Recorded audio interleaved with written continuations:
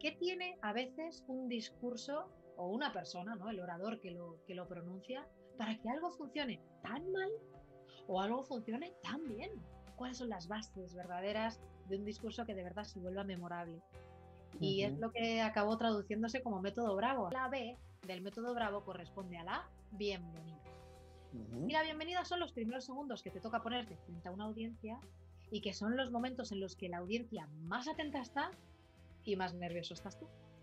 La R es el reconocimiento. Cuando alguien nos escucha un discurso, el reconocimiento, el honrar y agradecer esa atención por parte de la audiencia para mí se vuelve fundamental. La A de autoridad es ese momento que justo después de darle las buenas noches a Madrid, es decir, de darle las gracias a la audiencia, toca decir quién eres. ¿Cuál es tu principio de autoridad? ¿Qué te acredita, qué te autoriza para hablar frente a esa audiencia?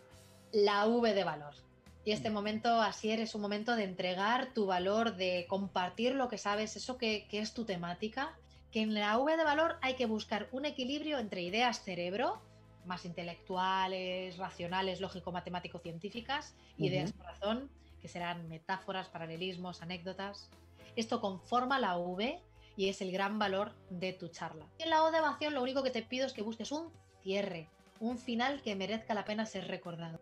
Todo el mundo tiene una historia que contar, todo el mundo necesita hablar de su proyecto en algún momento y todo el mundo puede aprender a hacerlo bien.